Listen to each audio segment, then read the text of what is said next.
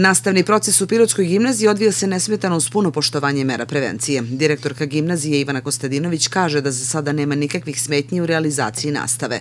Odlukom Ministarstva i školske uprave Niš gimnazije je izabrana da učestvuje u programu snimanja časova koji se pripremaju za televizijsko praćenje nastave ukoliko bude epidemiološka situacija zahtevala.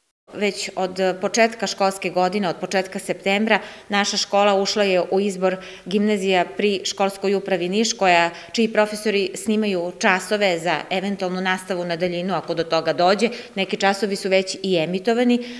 U projektu su opšte obrazovni predmeti, srpski jezik i književnost, matematika, istorija, geografija, fizika, biologija i hemija, Iz naše škole uključeno je 14 profesora i eto mogu sada i javno da ih pohvalim da su veoma odgovorno, zrelo pristupili tim obavezama i snimanju časova.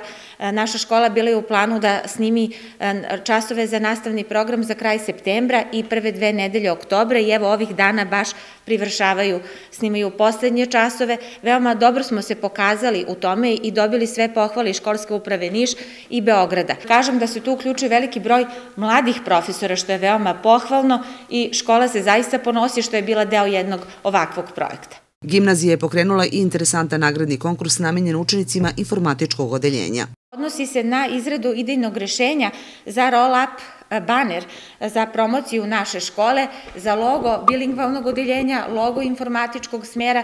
Eto, želimo da i u ovim, da kažem, malo nesigurnim vremenima motivišemo đake, utičemo na, na razvoj njihove kreativnosti i ideja, jer prosto smatramo da bez obzira na ovu situaciju i dalje treba da se radi na promociji škole, na izgrađivanju većeg identiteta i prepoznatljivosti škole u gradu i šire.